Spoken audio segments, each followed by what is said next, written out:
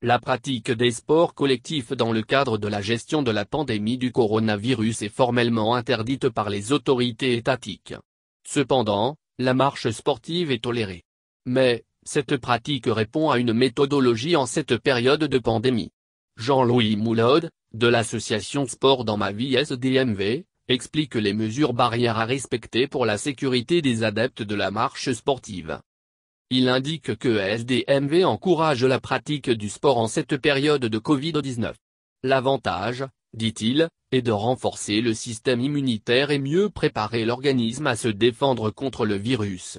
Toutefois, il conseille que la pratique soit modérée et non intense. C'est pour cela que Jean-Louis Moulot propose la marche active ou le jogging régulier sur de courtes distances. Dans cette période, Pratiquer un sport de façon intense peut fragiliser au contraire vos défenses et ouvrir la porte de votre organisme au virus, donc le but est de faire du sport régulièrement sans mettre son organisme à rude épreuve, conseille-t-il.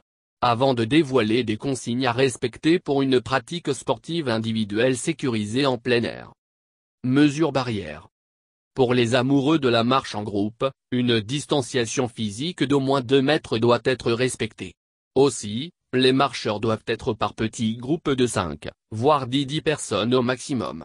Il est également recommandé que chaque marcheur soit soumis à un contrôle thermique et effectue une friction des mains avec une solution hydroalcoolisée avant le début de la pratique de la marche sportive.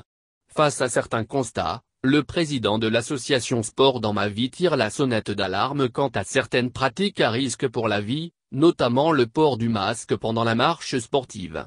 Il est formellement déconseillé de porter le cache-nez pendant la pratique de la marche sportive, indique Jean-Louis Moulode, qui explique que le risque d'un déficit d'oxygène dans le sang, une hypoxémie, est élevé avec des conséquences pouvant aller jusqu'au malaise avec perte de connaissance et même entraîner une chute. Même le port des visières est également déconseillé.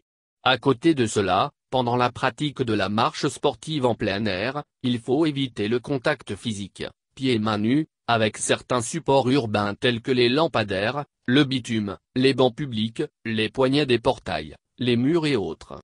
Seules les semelles des chaussures devront être en contact avec ces supports. Lesquelles semelles doivent être nettoyées ou désinfectées avant d'entrer dans votre domicile, conseille le président de sport dans ma vie.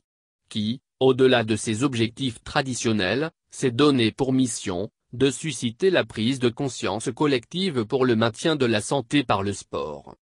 La santé par soi. Selon Jean-Louis Moulode, l'association Sport dans ma vie vulgarise le concept de la santé par soi en cette période de pandémie et même au-delà.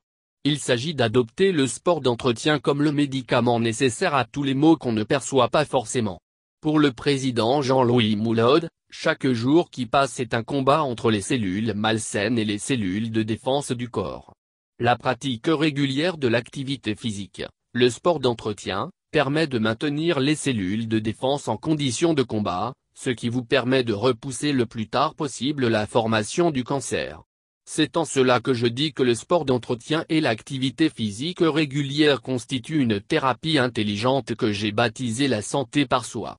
Elle prévient, elle alerte à la moindre défaillance, elle évite d'élire domicile dans les hôpitaux et de devenir des accros aux médicaments, elle retarde la maladie et quand bien même la maladie survient, elle dispose votre organisme à mieux capitaliser les protocoles médicaux proposés par la médecine, commente Jean-Louis Moulode, qui conseille un H de marche pendant au moins trois jours dans la semaine. L'association Sport dans ma vie, qui fait de la promotion de la pratique d'une activité physique régulière son credo, exhorte les autorités municipales à rapprocher les populations des espaces spécialement dédiés à la pratique du sport d'entretien. Nous Sport dans ma vie sommes prêts à leur apporter toute notre expertise dans la conception de ces espaces que l'on appelle communément parcours de santé, promet Jean-Louis Moulode,